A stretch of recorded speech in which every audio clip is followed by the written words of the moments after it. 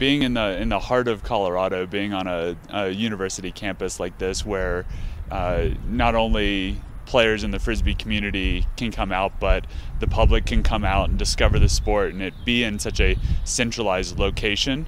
Uh, is, is a tremendous asset for the team. We're going to come out flying. We're, we have uh, some really tough defense. We have some of the best players in the world that play for this team and we're going to come out and give them a great show. Lots of high flying action. Frisbee is really such a unique sport because we have an aspect of the game called spirit of the game. It's something that no sport really has. We have, you know, sportsmanship, but Frisbee takes it to a whole new level.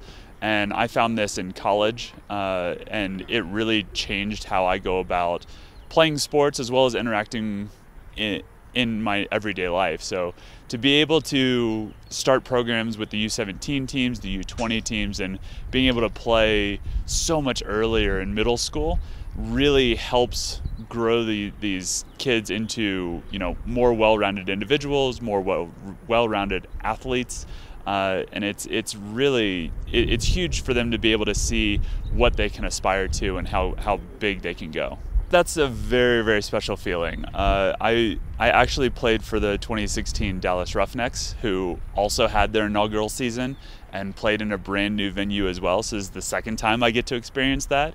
Uh, but the the feeling and the rush of setting foot on the field is already already exhilarating. To be able to do it in a brand new facility with a, such a strongly commun- uh, strong community that we have is just an unbelievably special event that you never forget. We've been practicing for a long time. We have a lot of chemistry within the team, so we had uh, unbelievably high expectations for ourselves to be able to go on the road against Seattle and, and Portland, who uh, already had high expectations for, the, for themselves for the season.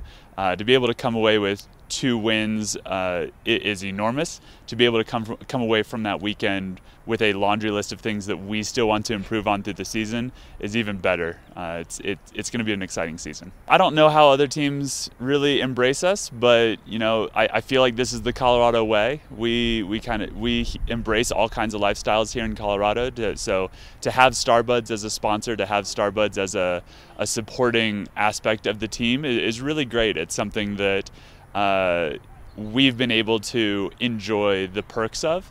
Uh, to be able to be introduced to CBD and THC in a more medical form as far as muscle recovery, joint recovery after big long weekends and games. Uh, it's an aspect of athletics that I'd never considered before, so it's a very eye opening experience.